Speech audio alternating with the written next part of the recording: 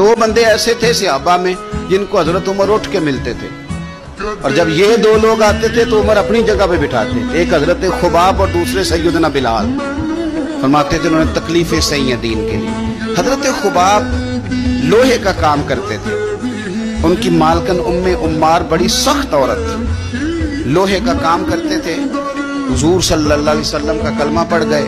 एक दिन मालकन को पता चल गया कि ये तो दीन इस्लाम में चला गया तो वो आई बड़े गुस्से में बावली होकर और आपने लोहे की सुलाख आग में रखी हुई थी तो उसने जल्दी से वो सुलाख उठाई और जनाब खुबाब के सर पे रख जलती हुई सुलाख, वो आग का अंगारा बन जाती।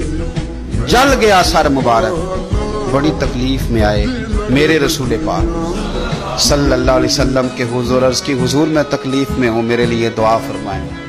हुजूर ने क्या जुमले कहे? कुर्बान जाए मदीने वाले की दुआओं पर। हुजूर की दुआ